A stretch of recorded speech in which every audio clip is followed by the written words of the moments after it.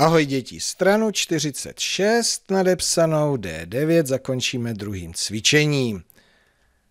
Tak, prosím, přečtěte si zadání. Správnou možnost označ křížkem. A to si myslím, že zvládnete samostatně. Čtete si tady ty výroky, ty věty, budete určitě prohlížet ty obrázky, no a podle toho, co zjistíte nebo vypočítáte, zaškrtnete ano nebo ne. Dejte se do práce, až to budete mít hotové, znovu si puste video a porovnáme řešení.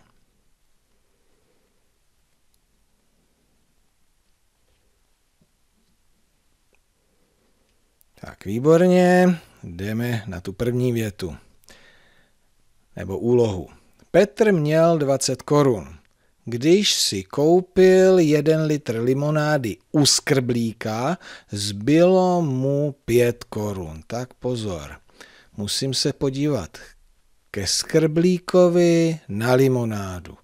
Tak skrblík, limonáda 13 korun. Mhm. Tak, měl 20, koupil si tam limonádu za 13 korun, 20 minus 13, to se rovná 7. A tady, že mu zbylo 5, tak to ne. Tento výrok není pravdivý. Jo, ty by tady byla sedmička, tak ano. Další. Nejlevnější mléko mají v potravinách. Aha, takže pozor, nejlevnější mléko. Tak, mléko. 12 korun u Matýska, potravinách 14 korun a u skrblíka 20 korun. No, tak to teda u potravinách 14, to je levné, ale tady u Matýska je ještě levnější, za 12 korun. Takže opět tento výrok znovu není pravdivý. Takhle. Jeden litr mléka v potravinách je o dvě koruny dražší než jeden litr mléka u matýska. Takže budeme porovnávat mléko, ale v potravinách a u matýska. Tak jdem na to.